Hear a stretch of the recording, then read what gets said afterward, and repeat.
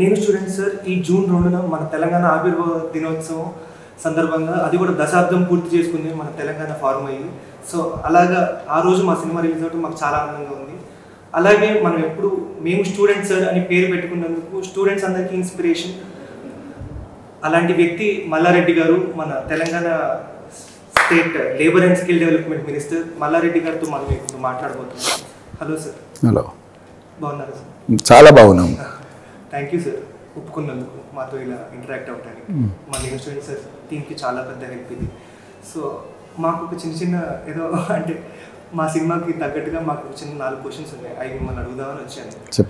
So మీరు ఇన్స్పిరేషన్గా తీసుకునే వ్యక్తులు ఎవరు సార్ నేను ఎవరిని ఆదర్శంగా తీసుకున్నా అంటే కష్టపడేటోళ్ళని నేను ఆదర్శంగా తీసుకున్నాను సక్సెస్ అయిన వాళ్ళని ఆదర్శంగా తీసుకున్నా.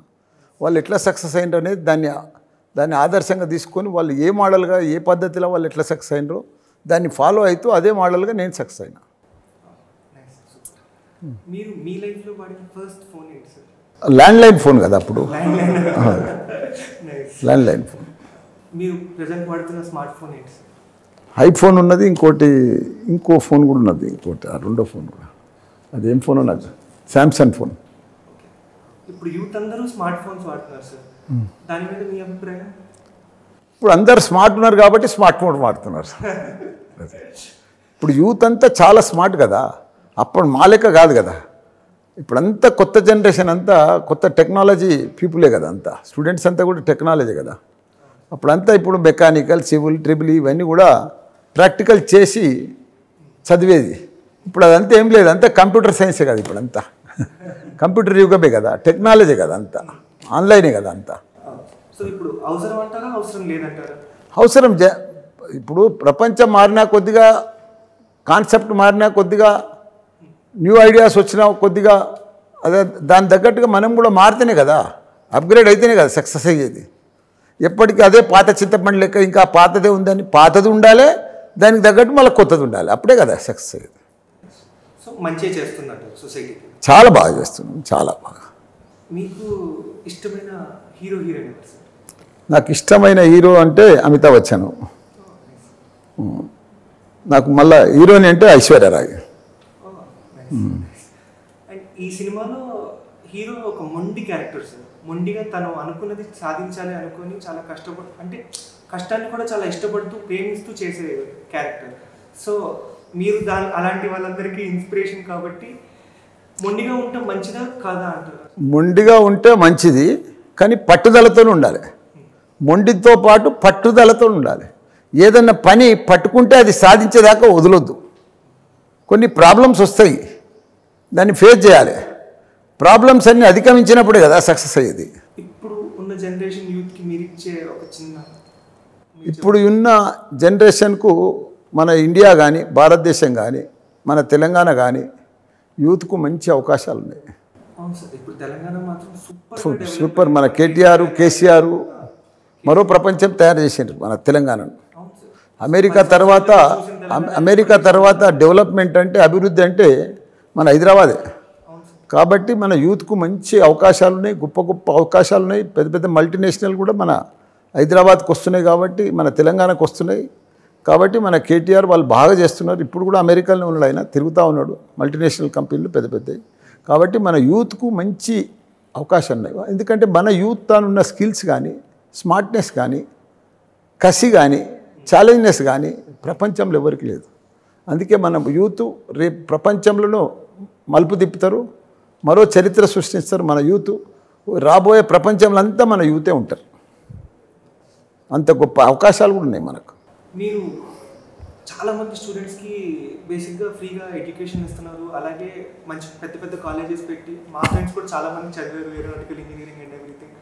So aeronautical engineering హైదరాబాద్లో ఫస్ట్ పెట్టిందే మీరు అని నేను కూడా. సో అలాగే స్టూడెంట్స్ అందరికీ మీరు చెప్పదలుచుకున్నది?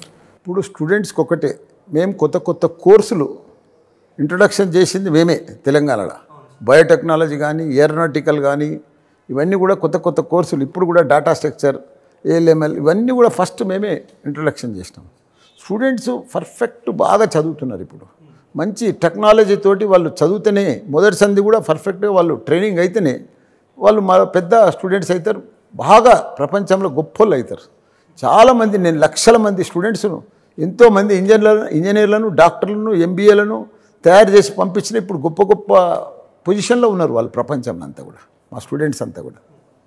ఇప్పుడు స్టూడెంట్స్ అందరూ సినిమాలు బాగా చూస్తుంటారు దానివల్ల చాలా ప్రభావితం అవుతుంటారు. సో అది మంచిదా కాదా? అసలు సినిమాలు స్టూడెంట్స్ సినిమాలు చూడడం చెడు కాదు. అసలు నేను కూడా చిన్నప్పటి సంది రోజు రెండు సినిమాలు మూడు సినిమాలు చూసిన రోజులు కూడా ఉన్నాయి. నాకు సినిమాలు చూస్తేనే ఇంత జనరల్ నాలెడ్జ్ వచ్చింది నాకు.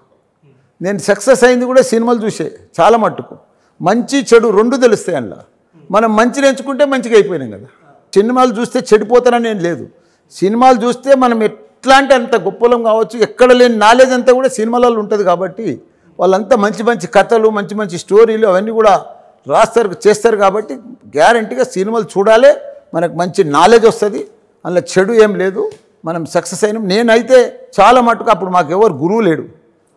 ఎవరు వాళ్ళు ఇది కూడా లేరు.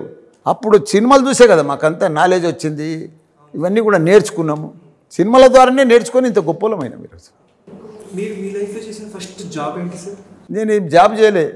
నాదైతే తెలుసు కదా పాలు అమ్మినా పూలు అమ్మినా బోర్వెల్ నడిపించిన. ఇప్పుడు బేసిక్గా యూత్ అందరూ చాలా ఎక్స్ట్రీమ్ అయిపోతున్నారు. అంటే కష్టపడితే బాగా కష్టపడుతున్నారు లేకపోతే ఎంజాయ్ చేస్తే బాగా ఎంజాయ్ చేస్తున్నారు. సో బ్యాలెన్స్ అనేది ఎలా చేసుకోవాలి సార్ లైఫ్? ఒకటే ఎవరైనా సరే ప్రపంచం అంతా ఎంత కష్టపడితే అంత సక్సెస్ అవుతారు. ఎవరైతే కష్టపడరో వాళ్ళు నష్టపోతారు. ఎవరైతే కష్టపడతారో గ్యారంటీగా సక్సెస్ అవుతారు. బ్యాలెన్స్ ఏం లేదు కష్టపడవలసిందే. కష్టపడాల్సింది ఏంటంటే మా లెక్క పెద్ద పూలమ్మి పాలమ్మి గుట్టలమ్మి గుట్టలు మోసేది ఏం లేదు. మీరు చదువుకోవాల్సిందే నాలెడ్జ్ గ్యాదర్ చేయవలసిందే. ఇప్పుడు టెక్నాలజీ జమానా ఆ టెక్నాలజీలకు లీనమైపోవాల్సిందే. దాంట్లో సక్సెస్ కావాల్సిందే. లేకపోతే మీరు బయటికి పోతారు. ఇప్పుడు ఈ అమ్మాయి చూడు మా కాలేజీని చదివింది. ఇప్పుడు మంచిగా యాక్టర్ అయింది. ఇట్లా చాలామంది ఎంతోమంది సినిమాలు తీస్తున్నారు టీవీ సీరియల్ తీస్తున్నారు. చాలామంది గొప్ప గొప్ప యాక్టర్లు కూడా అయ్యారు మా మా కాలేజీలో చదివిన వాళ్ళు. ఫోన్ మా దగ్గర లేదా అంటే మినిస్టర్ గారి దగ్గర కూడా వచ్చేసావా? మరి మీ దగ్గర లేదయ్యా ఫోను? అది కాదండి మీ దగ్గరికి వచ్చాను మీరు లేదన్నారు. కమిషనర్ గారి దగ్గరికి వెళ్ళారు ఆయన లేదన్నారు. మరి ఇంకేం చేయాలి? ఆయన కంటే పెద్దవాళ్ళు. మన మల్లారెడ్డి గారి దగ్గరికి అందుకే వచ్చాను. ఆయన అయితే నా ఫోన్ ఇప్పిస్తారని ఎలాగైనా. మినిస్టర్ దగ్గరికి వచ్చేస్తే ఫోన్ ఇప్పించేస్తారా? లేని ఫోన్ ఎక్కడి నుంచి ఇప్పిస్తారు? మా పోలీస్ స్టేషన్లో నీ ఫోన్ లేదయ్యా. మీ దగ్గరే ఉందండి. మీరు అబద్ధాలు ఆడుతున్నారు. నేను అందుకే మల్లారెడ్డి గారికే చెప్పుకుంటాను. మీతో ఏం మాట్లాడాను నేను. సరే మీ ఫోన్ ఎక్కడుందో తెలియాలంటే మీకు కూడా తెలియాలంటే?